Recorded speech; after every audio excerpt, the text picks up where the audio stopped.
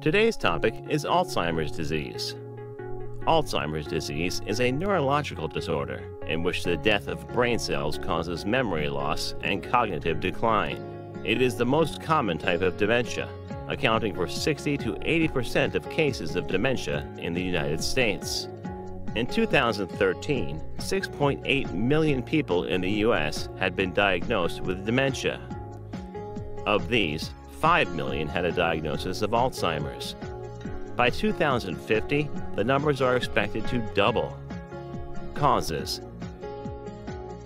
Scientists believe that for most people, Alzheimer's disease is caused by a combination of genetic, lifestyle, and environmental factors that affect the brain over time. Although the causes of Alzheimer's aren't yet fully understood, its effect on the brain is clear. Alzheimer's disease damages and kills brain cells. A brain affected by Alzheimer's disease has many fewer cells and many fewer connections among surviving cells than does a healthy brain. As more and more brain cells die, Alzheimer's leads to significant brain shrinkage. When doctors examine Alzheimer's brain tissue under the microscope, they see two types of abnormalities that are considered hallmarks of the disease plaques. These clumps of a protein called beta amyloid may damage and destroy brain cells in several ways, including interfering with cell to cell communication. Although the ultimate cause of brain cell death in Alzheimer's isn't known, the collection of beta amyloid on the outside of brain cells is a prime suspect. Tangles Brain cells depend on an internal support and transport system to carry nutrients and other essential materials throughout their long extensions. This system requires the normal structure and functioning of a protein called tau. In Alzheimer's, threads of tau protein twist into abnormal tangles inside brain cells, leading to failure of the transport system. This failure is also strongly implicated in the decline and death of brain cells. Signs and symptoms.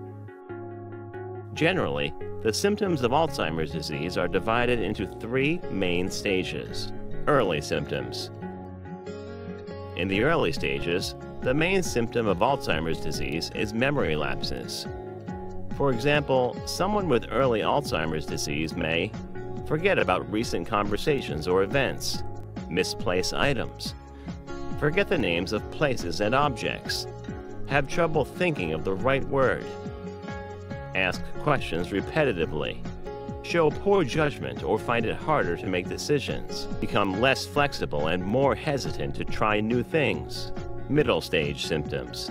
As Alzheimer's disease develops, memory problems will get worse.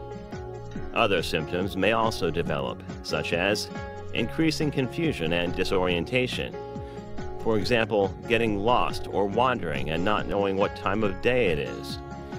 Obsessive, repetitive, or impulsive behavior. Delusions, believing things that are untrue. Or feeling paranoid and suspicious about carers or family members. Problems with speech or language, also known as aphasia. Disturbed sleep.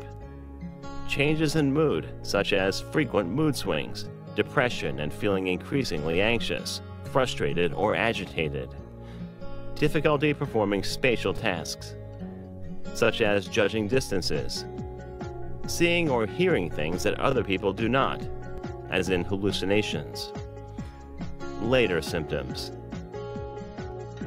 In the later stages of Alzheimer's disease, the symptoms become increasingly severe and can be distressing for the person with the condition, as well as their carers, friends, and family. Difficulty eating and swallowing, also known as dysphagia. Difficulty changing position or moving around without assistance. Weight loss, sometimes severe. Unintentional passing of urine, or urinary incontinence, or stools, bowel incontinence. Gradual loss of speech, significant problems with short and long term memory. In the severe stages of Alzheimer's disease, people may need full time care and assistance with eating, moving, and personal care. Diagnosis There is no single test for Alzheimer's disease, so doctors will look at the signs and symptoms, take a medical history, and rule out other conditions before making a diagnosis. They may also check the person's neurological function, for example, by testing their balance, senses, and reflexes. Other assessments may include a blood or urine test, a CT or MRI scan of the brain, and screening for depression.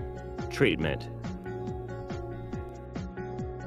Drugs Current Alzheimer's medications can help for a time with memory symptoms and other cognitive changes. Two types of drugs are currently used to treat cognitive symptoms. Cholinesterase inhibitors. These drugs work by boosting levels of cell to cell communication by providing a neurotransmitter, or acetylcholine, that is depleted in the brain by Alzheimer's disease. Memantine, as in Namenda, this drug works in another brain cell communication network and slows the progression of symptoms with moderate to severe Alzheimer's disease. It's sometimes used in combination with a cholinesterase inhibitor.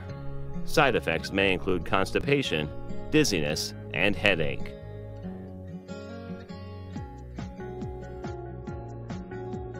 Thank you for watching our video. Please do not forget to like and share the video. Also, please subscribe to the channel to stay updated on our latest videos.